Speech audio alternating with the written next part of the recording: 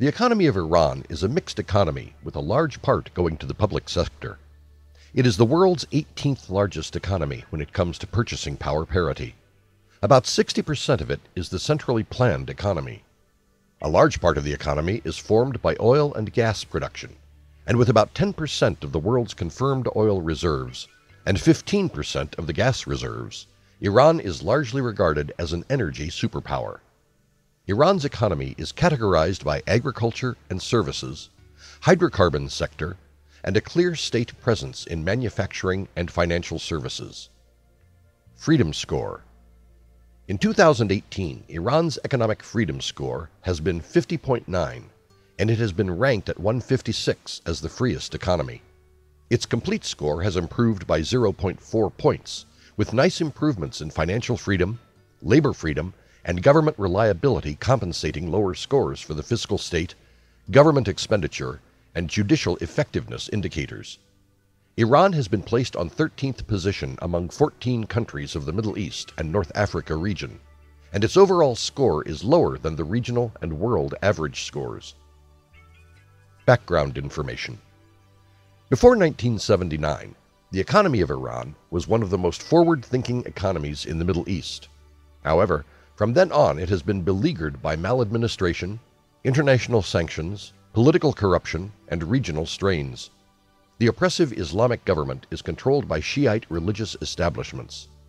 An uninfluential president is chosen for a term of four years through a process which is controlled by the clerics with hardline approach clerks.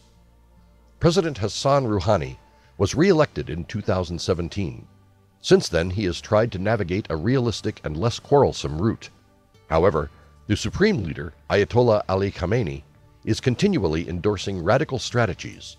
Iran owns the world's second largest natural gas reserve and fourth largest crude oil reserves. Rule of law.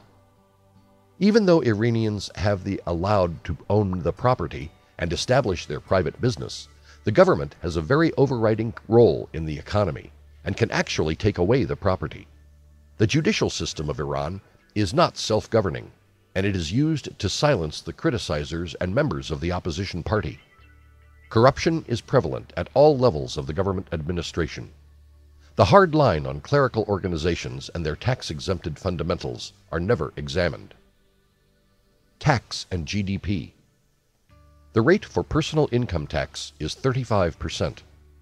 The rate of corporate tax is 25% and all property transfers are bound by a standard tax. The total tax burden is 7.1% of total domestic revenue. In the last three years, government spending has reached the figure of 17.2% of the total gross domestic product, GDP, and budget deficits have been more or less 1.9% of total GDP. Public debt is about 35% of the economy's GDP. The combined value of exports and imports is 39% of GDP. Governing efficiency.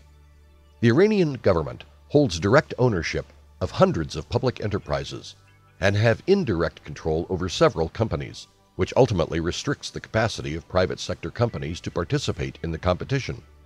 In addition, labor regulations are constricting and the labor market remains stationary. The government has retained economically damaging price controls and subsidies ever since the Islamic Revolution instigated. Several government controls limit the access to financing for businesses and government also controls credit allocation.